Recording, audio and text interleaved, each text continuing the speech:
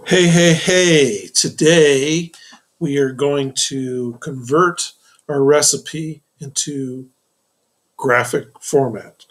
Now, the recipe I've given you is you'll find on this website, Tasty, which I hope you've already gone there and seen it. Um, and that's the recipe I have in front of you now. The thing uh, I want to point out to start with is my computer's a little wonky. Um, this is a traditional format recipe, except it's a little bit different because a true traditional recipe is going to have ingredients at the top, procedure at the bottom, or preparation.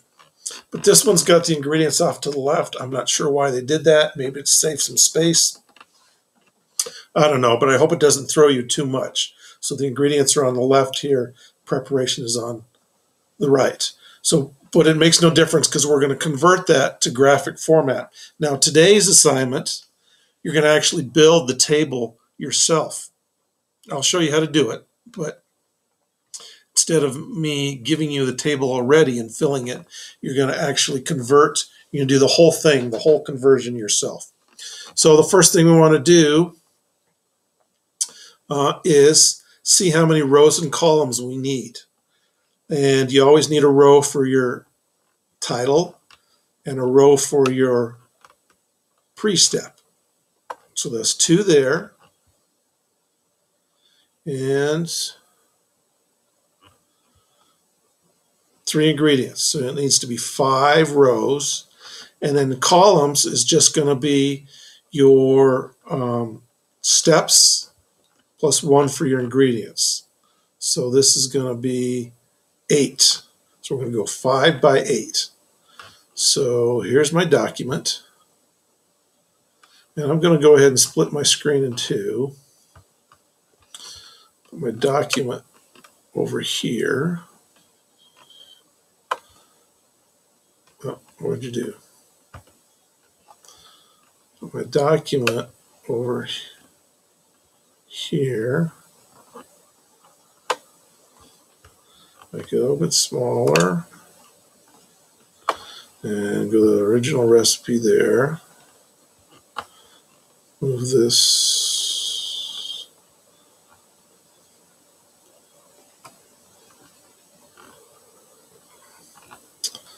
Ah. What the heck happened?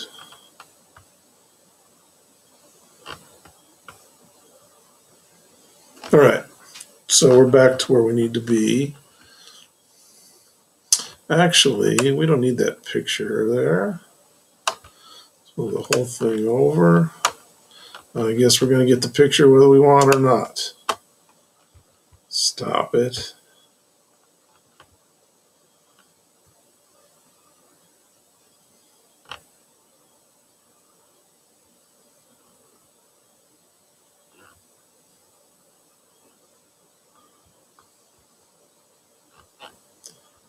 All right, come on. What have I done?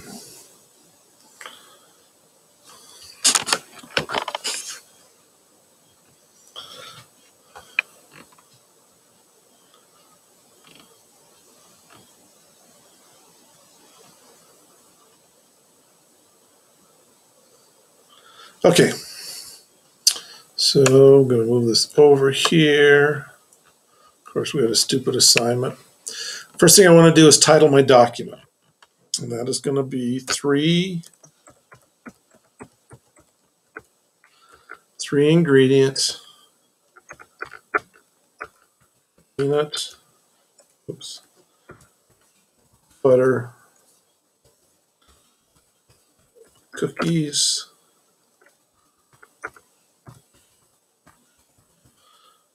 version. Okay. Let's get my face out of the way again. All right, we're going to have to build a table, so we have to in insert a table. So we click on Insert,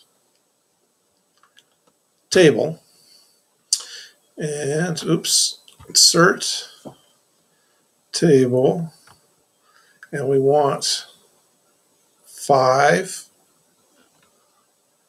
by 8 eight by five, I guess. Now, if you don't get this exactly right the first time, it's okay. We can add rows and columns easily. So there's my table. First thing I want at the top is my title. So I'm going to highlight my top row there. Format, table, and I'm going to merge cells. And my title will go in there. I'm not going to bore you by typing the title. You know how to do that. Second row.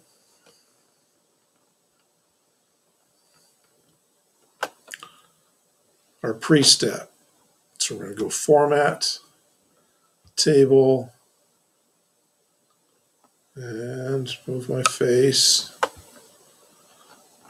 format, table, merge cells. Now again, I'm not going to bore you by making you watch me type in the pre-step, but you have got to do it. Don't just look what I've got and copy it down. I see people turning in halfway done work quite often uh, because they stop where I stop. I don't want you to stop here.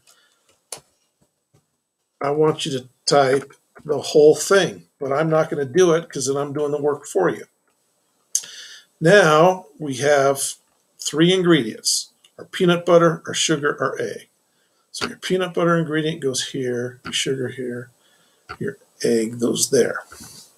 Are you with me? Now,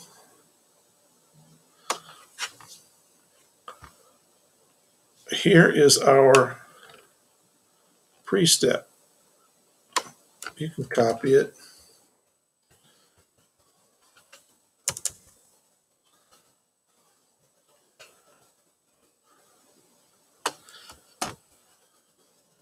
Paste it there. Now, your first step is in a large bowl, mix together peanut butter, sugar, and egg. Well, that's three ingredients. Peanut butter goes here, sugar, and egg. I'll let you figure out how to fill those in. I don't want to do it for you, but I think you can do it. Now, your first step involves which ingredients? The peanut butter, the sugar, and the egg. So we're going to take these three cells, peanut butter, the sugar, and the egg row, and we're going to merge them together.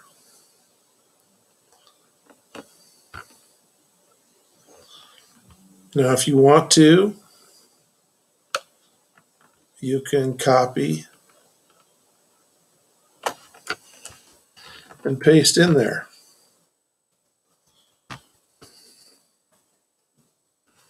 Okay, but it doesn't seem to work, does it? So what we're going to do is, for some reason, we have uh, numbering format. So I deleted that numbering format.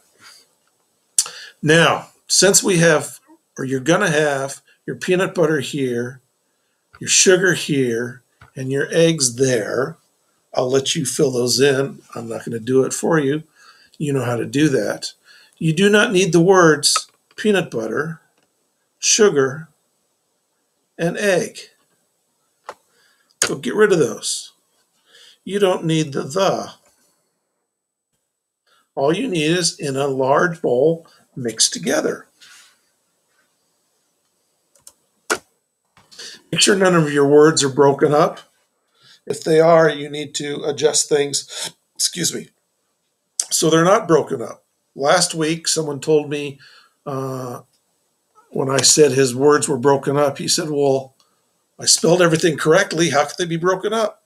Like it's out of his hands. Well, no, you, it's your table. You build it. So you determine the size, uh, you determine the font size, et cetera, et cetera. You have to make it work.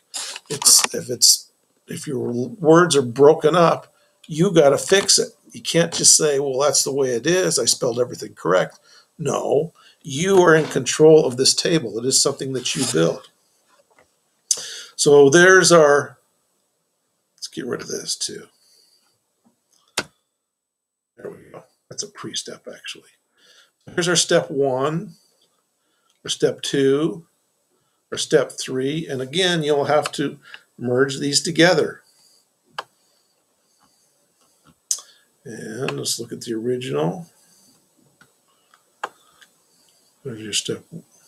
Well, this is actually your two here because we're going to change it. Two, three, four, five, six, and your seven enjoy goes there after you merge those cells. Pretty simple. But make sure you don't have the words peanut butter, sugar, and egg in this cell. Make sure you merge these three together, these three together, these three together, etc. Because once they're mixed together, they're not going to be split apart again. So your cells always go from small to larger. You don't have three cells here and then, I'm sorry, you don't have one cell here and then three here. Once you're at one cell, everything thereafter is going to be one cell. So I hope that helps you. Feel free to stop this, back it up, and play it over again if you need to, and turn this in when you're finished.